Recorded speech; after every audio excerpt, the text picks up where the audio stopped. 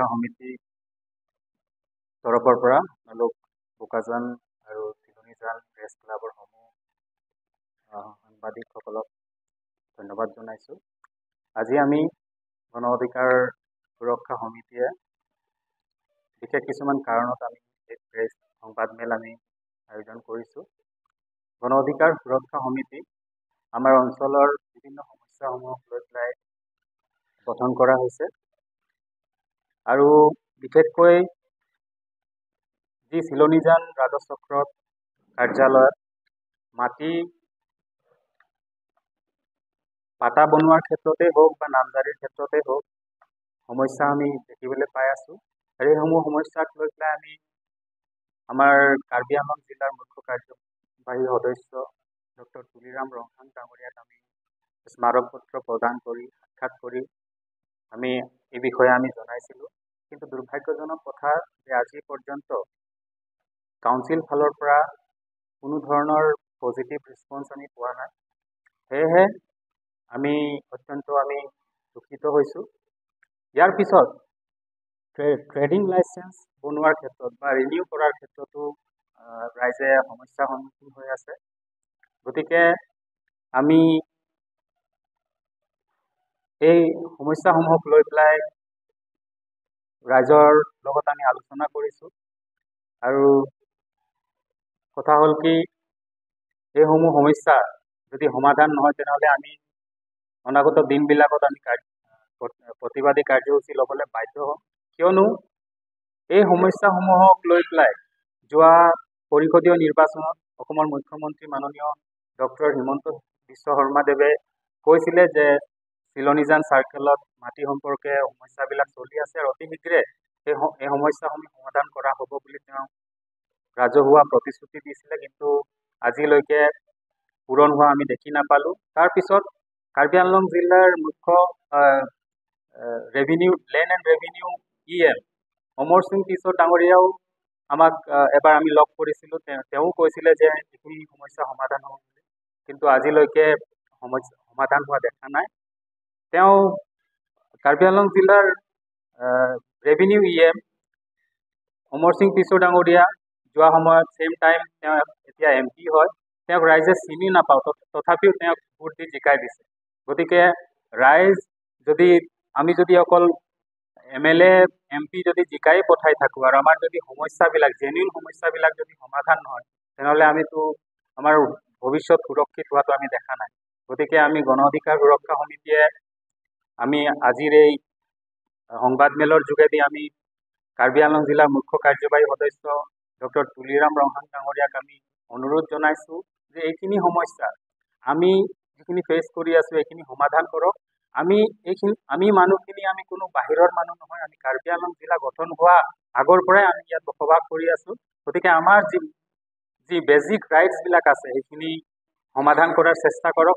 অন্যথা আমি গণ অধিকাৰ সুৰক্ষা সমিতিয়ে ৰাইজক লগত লৈ পেলাই আমি মানে ৰাস্তাত ওলাবলৈ আমি বাধ্য হ'ম।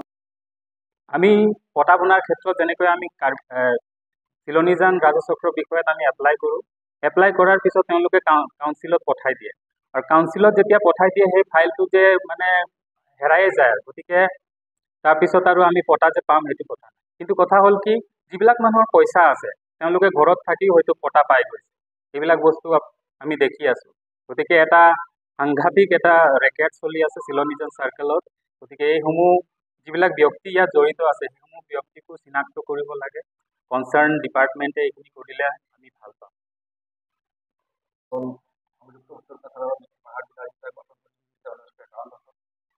যেতিয়া আমাৰ শিৱসাগৰ জিলা নগাঁও জিলা আৰু খাচীয়া জয়ন্তীয়া জিলা বিভিন্ন অংশ সামৰি সংযুক্ত উত্তৰ কাছাৰৰ পাহাৰ জিলা গঠন কৰা হৈছিল গঠনৰ আগমুহূৰ্তত আমাৰ যিখন অসমৰ কেবিনেট আছিল কেবিনেটৰ উপৰিও এই জিলাৰ দুখন গঠনৰ আগমুহূৰ্তত এটা এডভাইজৰী কাউন্সিল গঠন কৰা হৈছিল।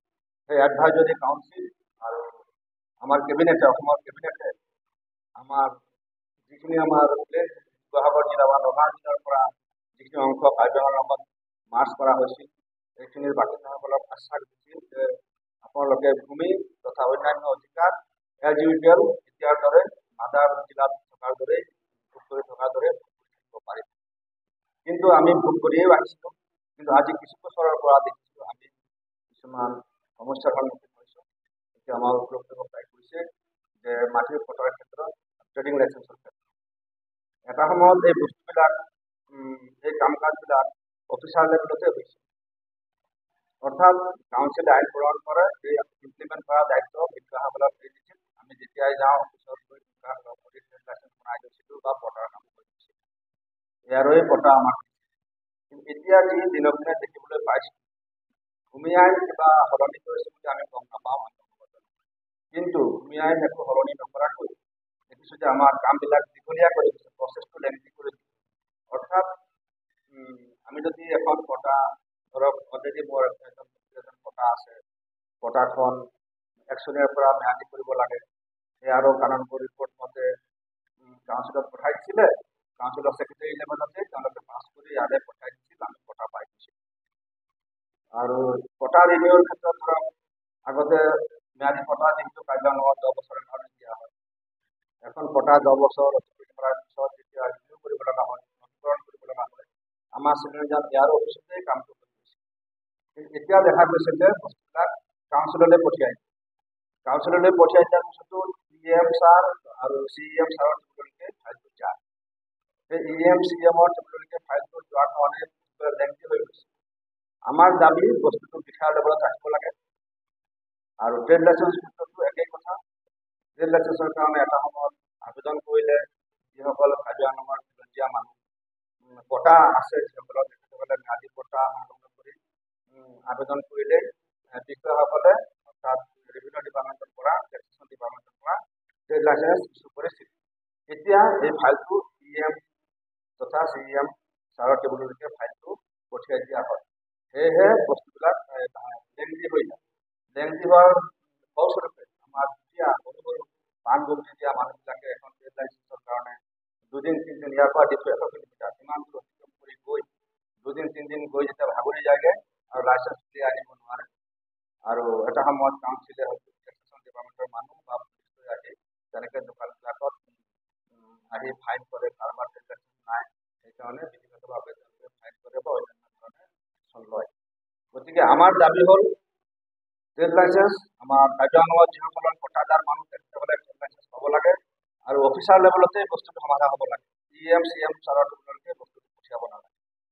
আৰু পটাৰ ক্ষেত্ৰত মাটি সংক্ৰান্তীয় সকলো কাম কাজ আমাৰ চিভিলজন ইয়াৰ অফিচতে হ'ব লাগে। যদি তাত কোনোবা সচিব পৰ্যায়ৰ বিষয়াৰ দৰকাৰ হয় তেখেতে লাগিলে মাহত এবাৰ চিভিলজন ইয়াৰ অফিচত আহি বহক বহি পেলাই ভূমি সংক্ৰান্তীয় সকলো কাম কাজ চিভিলজন ইয়াৰ অফিচতে সমাধান হ'ব লাগে সেইটো আমাৰ। আশা কৰিছোঁ আমাৰ এই দাবীবিলাক চি এম ছাৰে গুৰুত্ব সহকাৰে বিবেচনা কৰিব ইতিমধ্যে এণ্ট্ৰি টেক্সৰ ব্যৱস্থাটো পূৰ্বৰ পৰাই আছে সেইটো গভৰ্ণৰৰ এপ্ৰুভেল আছে বুলি মই জানো আৰু অতীতৰ পৰা এইটো চলি আছে সেইটোত লৈ আমাৰ কোনো আপত্তি কৰিবলগীয়া নাই। কিন্তু বৰ্তমান যিটো গুডছ টেক্স এটা হেৰি কৰিছে এইটো কৰিছে mobile goods entry check point বুলি নতুনকৈ সামগ্ৰীৰ ওপৰত কাৰ্যালয়ৰ পৰা ওলোৱা হ'ব দুইবিধ সামগ্ৰীৰ ওপৰত কাৰ্যালয়ৰ পৰা ওলাই যোৱা আৰু কাৰ্যালয়ত সোমোৱা। দুইবিধ সামগ্ৰীৰ ওপৰত বিভিন্ন ধৰণৰ টেক্স কাউন্সিলে আৰোপ কৰিছে যিটো নেকি আমাৰ দুখীয়া মানুহৰ ওপৰতে তাৰ প্ৰভাৱ পৰিব হয় কোনোবা সামগ্ৰী হয়তো কেজিত পাঁচ পইচা টেক্স ধাৰ্য কৰিছে কিন্তু এই পাঁচ পইচাৰ কাৰণে ব্যৱসায়ীসকলে আমাৰ পৰা হয়তো এটকাকৈ মুনাফা আদায় নকৰে। গতিকে আমি দাবী জনাওঁ যে আমাৰ এই গুডছ টেক্স যিটো মোবাইল গুডছ এণ্ট্ৰি টেক্স যিটো পইণ্ট বহুৱাইছে এইটো আমাৰ কৃষিজাত সামগ্ৰী লাগু কৰিব নালাগে। আৰু কৃষি সামগ্ৰীসমূহ যিহেতু প্ৰায়বিলাকে হাৰকে আদি কৰি বাহিৰৰ পৰা আহে এইবিলাকৰ ওপৰত টেক্স ধাৰ্য কৰাৰ লগে লগে আমাৰ কৃষকসকলৰ ওপৰতে তাৰ মানুহৰ পৰিব গতিকে আমি ভাবোঁ যে আমাৰ কাৰ্যালয়ত উৎপাদিত কৃষি সামগ্ৰী প্লাছ কৃষি লগত জড়িত যিবিলাক দ্ৰব্য কাৰ্যালয় মানে সোমাই আহে সেইবিলাকৰ ওপৰতো এই যিটো মোবাইল চেক পইণ্ট বহুৱাইছে সেইটোৰ পৰা ৰেহাই দিব লাগে এইটো আমাৰ দাবী বস্তুটো নানিলে ডেটটো আছে প্ৰতিটো নাৰাখিলে হৈ গ'লতো আমি মেম'ৰেণ্ডাম দিয়াটো কিমান দিন হৈ গ'ল এইটো কাৰণে তেইছ চনতে দিয়া তেইছ চনতে দিয়া আছে